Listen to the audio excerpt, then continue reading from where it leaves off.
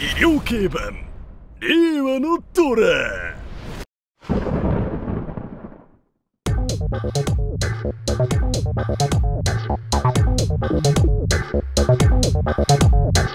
ではどうぞ。失礼します。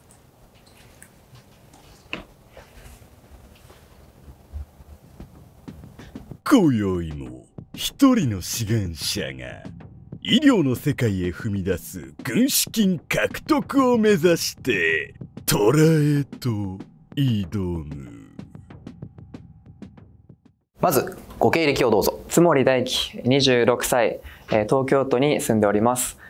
最終学歴は、えー大学6年生でございます。で、現在職業は同じく、えー大学の6年生として通っております。今回の希望金額と出資形態を教えてください50万円で、えー出資形態は投資は、えー融資でお願いします。あなたが思い描く未来の姿は？医師国家試験に一発で合格するために予備校に通いたいです。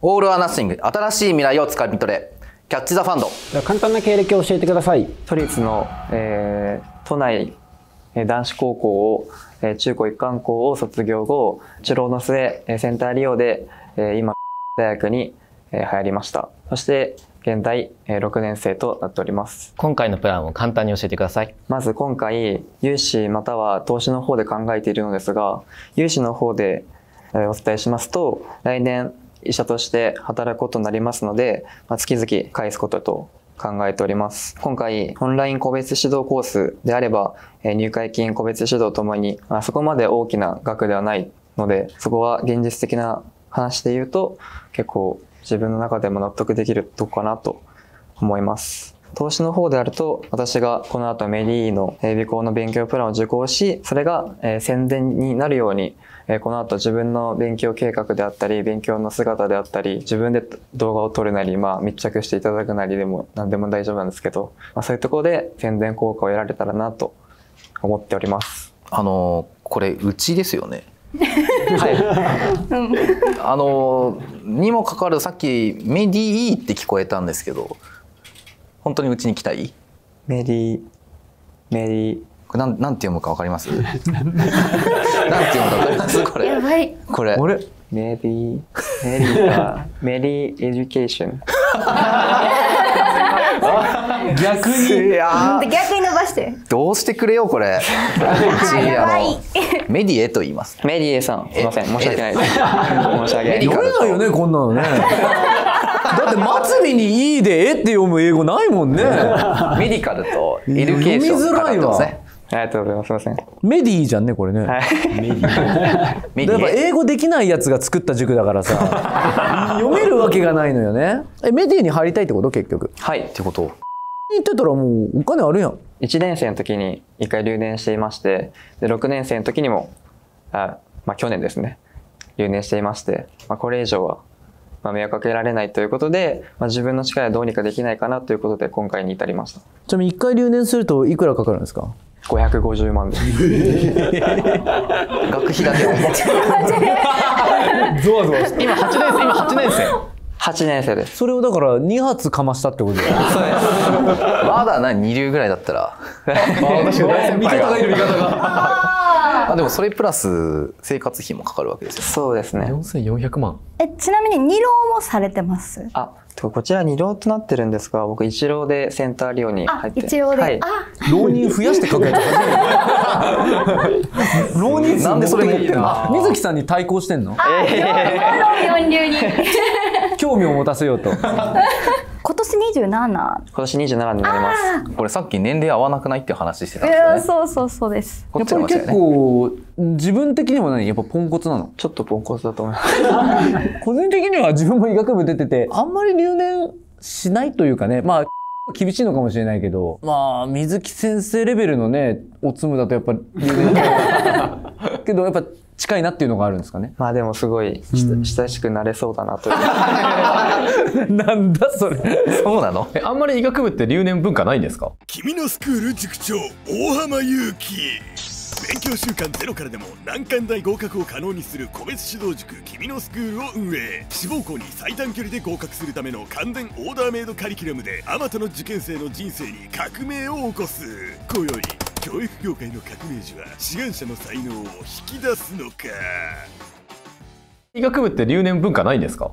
いや、いやありますよ。あるっ普通の、はいはい。あの、学部に比べたら全然留年すると思うんですけど、9割ぐらいは行くみたいな。そう、けどなんか普通の、例えば、あの、早慶とか、マーチとかの留年って、単純に、まあ、ふざけて留年してるじゃないですか。でも学校行かないとか。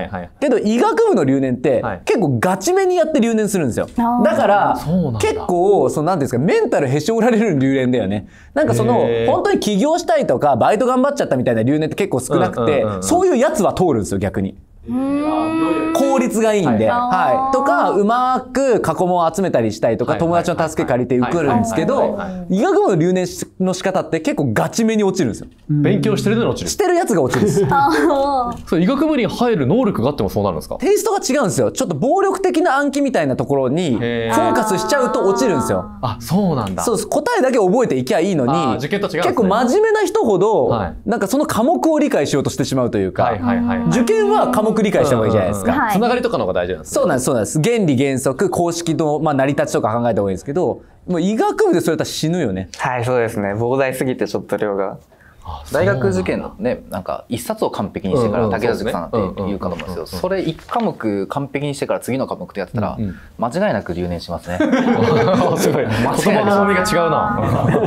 だから、生真面目で、ちょっと不吉祥な子が一番留年するんですよ。ギリギリもう、あの、追試まで見据えて、チャラッとやるか、みたいなやつが、やっぱ一番通るよね。はいそうですね、一個一個の試験に対して真面目にやると、あの、なぜか、その、試験日程がね、ほんと一週間ごとに結構ビッグなのが連チャンしちゃったりしてドミノ式に落ちるっていう。はいはいこれ大学1年生の時から大変なんですか？いや、病院、病院じゃねえや、大学によりますね。まず各大学のなんか鬼門みたいな学年が決まってて、ー大体最近は1、2で1回と、まあ4年のオスキーとか、はい CBT で1回。で、あとは最後卒業試験で1回。だからそのスムーズに行きやすい大学もあれば、やっぱ1、2関門あるような。6年間の進級率低い方だよね。そうですね結構低いと思いますね多分1年生で入った子たちの2、3割はいないっす。へいないよね、そう6年時で。ちょうどそれぐらいだと思います、うん。これ1年の時は何で落ちたんですか？ちなみに。科目はと生化学ああじゃあもうみんながあるあるの落ち方をしたわけですね。そうですねああ生化の単留。生化と分子生物学あああの essential みたいなやつやるやつ。 Essential だったかな。あの赤い赤い教科書なあ Cell。Cell とかやんだ。時代がセルやりました。時代が全え、然。物理選択 物理選択であで生物系で死んだってことね。死んでました。あるある。けど確かにね同級生にも津森くんみたいな人いたんですけど留年してましたね。いい子そうなんですけどねさらっと留年するんですよね。千葉大だとどれぐらい留年されるんですか？まあ学年で毎年3から5人っていう感じじゃないですか。だからまあ本当にやらかすとアウトみたいな。だから20人落ちるとかってなると結構普通の人も落ちちゃうじゃないですかけどやっぱ5人以下ってなるといやあいつは落ちるよなみたいな感じの落ち方。あだから2 3 0人落ちる学年あるときついよね。そうですね、うん6年生の時がそれそんな感じでした？あ6年生の時はそうでもないんですけど1年生の時は20ちょっと落ちました。そこでちょっとあれだよね。一回落としといてかつ入れるみたいな学校の方針だよね。はい。舐めてると。死ぬよっていう。つもりさんとしては結構頑張ったけどダメだったみたいな。まあ1年生の時はそうですね。割とそうだと思います。1年生の時は？6年生の時もそうだったと思うんですけおどう。集中できなかったっていうのが一番だと思いますハマっちゃった。ハマってしまいました。あ。水木さん何回ハマってるんですか？今回普通にいけるんじゃないですか？僕は自信があります。いやそのいやそのメディア行かなくてもというか、あでもそれは、はメディエさんのその、まあ、調べてよかったなと思うところはそのやっぱりその勉強を教えてくれるというよりは、うん。どっちかっていうと自分のこの生活スタイルというかそういうところをしっかりしてくれるっていう。まあなんかこうサボってしまうではないですけどやっぱりスケジュール通りにいかないことって結構多々あると思うのうんうんうんうんでまあそういうところを自分で律するより以上になんかこう誰かからの指摘があった方がまあより律することができるんじゃないかなという思いで。確実性を上げたいみたいな自分でもいけると思うけど、そうです。確実性を上げたいみたいな、はい。なるほどね。それはこの18回もいるんですか指導が？これはマッチングが終わった後の、えっと週1回ということで計算させております、あもう毎週。毎週一応そう毎ですね。週水木さんに叩き直してもらう。僕に？僕だとあの申し訳ないですけどちょっと料金が違ってくるんで。変え変える？いやまあでもさんじゃなくてもいい？まあ大丈夫です。大丈夫じゃなくてもいい。植木さんこれ足りるんですか実際？この49万7千円で。ここに書いてある通りだけですね。ああそうなんですね。かかるとしたら、うんまあ、この18回でっていうことでしたらこれで終わりです、うんうんうんうん。なるほあのでもやりながらいやさすがにもうちょっととか医者の個別指導じゃなくてカウンセラーっていうのがいるのでそのカウンセラーだけで良かったりすると逆にもっとグッと抑えられたりカウンセラーも付け加えるとまあちょっとプラスだったりとかにはなるかもしれないですね。こんなん教わんなきゃできないレベルだったっけ？ちょっと覚えてないんだけど。なんか普通はね普通はそうなんですか？個別指導なんかいらないんですよ。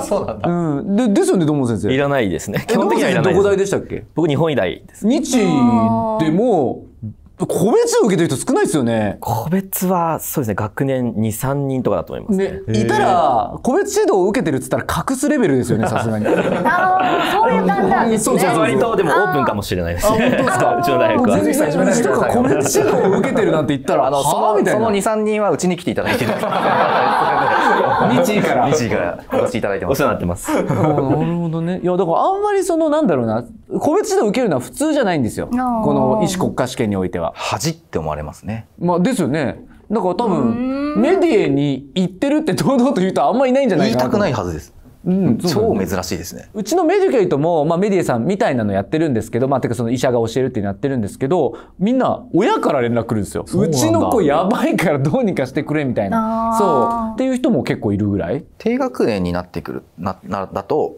結構親御さんから連絡が来るってことあるんですけど高学年になってくるとやっぱ、まあ、ある程度大人になってるんで自分で調べて自分でお問い合わせしてで親御さんを説得してっていう方が多いかな。で津森さんの場合は高学年なんで自分で決めてここに来たということなんですね。はい。これ出ることに関しては親御さんは何かおっしゃってるんですか？いや特には。あ何も。はい。は話してないってことですか？特に話してないです。話してない、はいあ知らない。はい知らないです。あ興味はいいよっつったんですか？大丈夫だと思います。本当？はい大丈夫か。でも場合によってはね細井先生のチャンネルでも、はい。あの医学生の方出演されてますけど全モザイクだったりしますもんね。だから留年になったやついます。細井先生のチャンネルうちのチャンネル出て。やばいじゃないですか。やばいじゃないですか。別に悪口言ってないんですよ。普通に内情喋っただけで留年しましたそいつ。大丈夫大丈夫。国家試験合格を叶えるための軍資金獲得を狙い虎たちとの激論に挑む志願者。教育の世界医療の世界を知る虎たちとの対話。メディア露出のリスクについて議論が展開する。序盤戦一体どうなる？医療系版青い令和の虎。志願者募集中。受験生も大学生もみんな待ってます。マッチングにももしかしたら影響するかもしれないですけどは大丈夫です。この自信はどっから来てるんですか？マッチしてんのも。あはえっとこれから始まります。だって去年マッチング受けてるでしょ。去年マッチング受けました。だからそこに再出願すると、まあ、基本的には取ってくれたりするよね。そうです。でも今年はちょっとまた気持ちを変えてまた思考を変えて思考を変えてはい来てるので。ちなみにどういうとこ P 入れるんでどういうとこ受けたい行きたいなと思ってるんですか？おお僕ですよ。あおそうなんだ。同じ病院です。あえー、すごい。なんか聞いといて聞いて時間していただきたい。ですはい結構ハイパーな感じだよね。中の上ってよく僕らはあそうなんですね。言ってましたね。回るかによって全然うんうんうん5時半とかで帰れる時もあるし、その病院はこういう出演こういうの出演しててもあんまり言われないですか？多分大そこは大丈夫だとは思いますが、むしろどちらかというと喜ぶかもしれない。あそうなんだ。じゃあどんどん病病院名言ってもらった方がいな。いいかもしれないです。でもね別にこれ悪い悪口を言ってる出演じゃないからね別にね、うん。うん全然問題ないと思うけど。大体分かったんですけどお金くださいっていうだけの状態ですよね今って。それだとなんか足りないなみたいな。よろしくお願いします。か軽っこのクエ版解いとくだけじゃダメなんですか？まあもちろんあのそうですね。クエスチョンバンク解いて Q 足 Q 足使ってるんですけど Q 足を見てっていうのと先ほど申し上げた通りやっぱりこう自分でやっていく以上にいろんな人から見守れてる方がまあ、その環境に僕結構左右される人なのでに行って自分をもっとこう高めていきたいなっていうのをこの失った2年間を取り戻したいなっていうのがあるので、まあ、そういった意味でもやっぱりこう 自分だけだけじゃなくて、はい、なんかその、まあ、自分も受けてみて、まあ、医師国家試験って9割ぐらい今受かるじゃないですか、はい。なんでちょっと僕の偏見だと龍文会代表中原良太郎九大模試数学1位の成績で医学部現役合格。99%が医療職に就く中学習塾業界へ。九大学部卒の手腕で合格者を輩出。ブログ読者は30万人超え。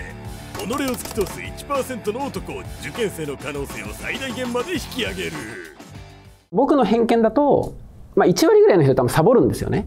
医学部の中でも。だからちゃんとやってればいけんじゃないかって思ってるんですよ僕は。隣の人が悪い顔したんでいや水木さんも怒られてるみたいな感じになってる気がしてなんか二人に向けてお説教してるからみたいな。悪者にするんですか？勝手にいやけど水木さんはだいぶやばいっすよ。ね多分医学生1万人いてビリぐらいですよね多分ね。だってこんな留年とあれしてる人なかなかレアですよね。二人をお説教してるみたいな顔。うんかなり外れ値ですよね。僕はもう過ぎたことだからあんまりここうダメージないですけど彼はもう今まさにだから 本当にちょっと痛いかもしれないですね。すいません。どうぞ。おおここで。サボってるんじゃないかって言めっちゃ端的に言うとなんか普通にやってたら受かるんじゃないかなっていう、はい。自分の経験では思うんですけどそのあたりってこうどうですか？確かにサボってるっていうとまたちょっと自分の中で解釈が違うんですけど今やるべきじゃないことかもしれないんですだと思うんですけど例えば英語の勉強をしたりとか興味がこういろんな方向に向いてしまう癖があって、まあ、それが結構短所なんですけどそのせいで確かに必要以上にこうクエンションバンクを解く時間が短くなってるっていう可能性はあります。まあ、医学部受験だとそのなんか生まれてきてからのそのなんていうんですかね、まあ、バックグラウンドみたいなのがあるからちょっとこうセンスみたいなのも影響してくるかと思うんですけど、まあ、医学部に受かる頭脳があって医師国家試験ってなった時に僕あとメンタルの戦いだと思ってるんですよね。あもうどれだけそのクエ板にしがみつけるかみたいな。んなんでそのこの個別指導に必要ですっていうのがなんかメンタル弱いから助けてくださいみたいな感じになっちゃうんですよ僕の中では。なんとかもうちょっとこう強い動機みたいなのがないと出せないんじゃないかなって思うんですけど。確かにメンタルの面も、まあ、なくはないと思います。ですが去年の成績であったり今年勉強していて感じたこととして自分ではなんでそうなのかまだ分かってないんですけど必修だけがずっと取れないだとかなんかこう自分の中で例えば去年から勉強方法を変えてみたりとかもしたんですけどそれでも総合的には上がるんですけど必修だけがやはりこう真ん中だけ落ちてしまうっていうのもなんかこういったところもメディエさんの力を借りてまあいろいろこう多角的な視点でなんかもう少し違うアプローチができたらなというのも一応考えております。もう必修ってクエ板3冊ですかね？そうですね Z っていうところが Z3 冊1 2 3みたいな分冊3はい冊ですよね。10週ぐらいしました？1.5週ぐらいです。おおそれじゃないですか多分。なるほど。解決しましたよ。なるほど。これねちなみにその必修で落ちるやつっていうのは一番やばいやつなんですよ。どうどうやばい？そうなんだ。必修問題っていうのがあって必修まあえっと総論格論だっけ、はい一般問題の総論格論があるんですけど必修っていうのは簡単なんですよ簡単に言うと。もう当たり前のことを高い正答率を出さなきゃいけないっていう、まあそのエリアなんですけど非常に常識的な例えば目の前で人が倒れていますどうしますかみたいな感じでなんか大声で助けを呼びますかとかなんかいきなり殴りますかみたいな。もう当たり前のものから、まあ、当たり前の選択肢をまあ選ぶ。たまにちょっと引っ掛けがあったりするんでそういうところだけやれば OK みたいな。まあ車の免許的なの試験的な感じなテイストなんですけどこれにひたすら落ちるやつがいるんですよ。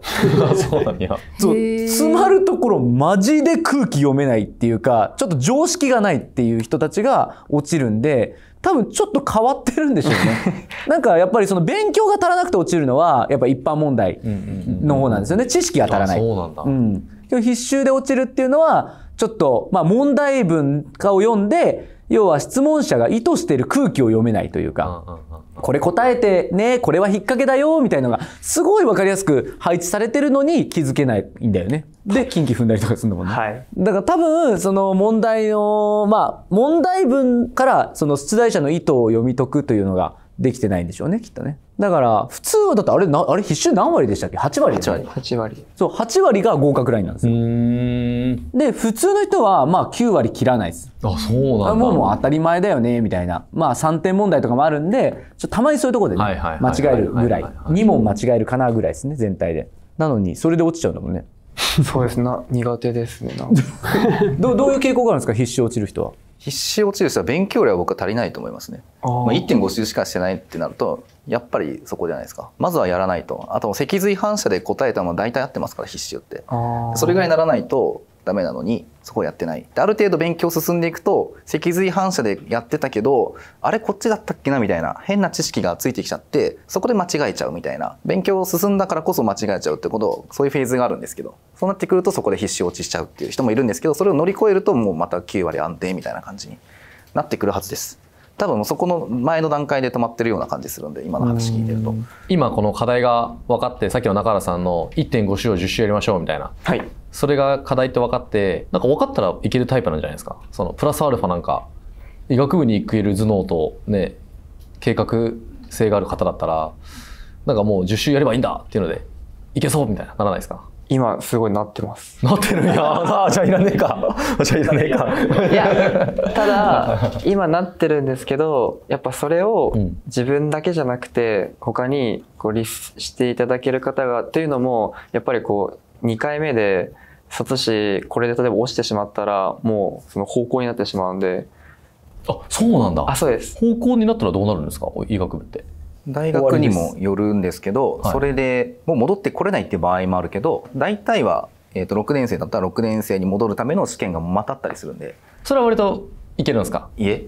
あそれもむずいんですか？え戻れんの？戻れる大学もあります。マジ？基本戻れないよ。えダメですね。あダメだそうです。もう一回だから放り出されたら6年生でもまた他のとこに1年生が入んなきゃダメです。あ使えないんですか単位とか？教養って言って1年生のあの英語とか物理とかのは使えると思いますけど専門は多分また取り直しだよね。取り直しですね。だいぶきついっすね。おだから俺と同い年なんですけど今3個目の大学行ってるやついます、はい、毎回奉公してて。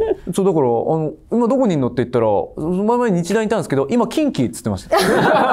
お場所もエリアも変えてきたかと思って。それ結構やばいっすね確かに。だからこれねあの落ちちゃったらもう1100万どころのマイナスじゃないよ そうですね。4000万のマイナスが確定するっすね。そうですね。あと27歳のフリーターが爆誕する。医学に詳しいフリーター。どうですか？あのあなた方の塾で。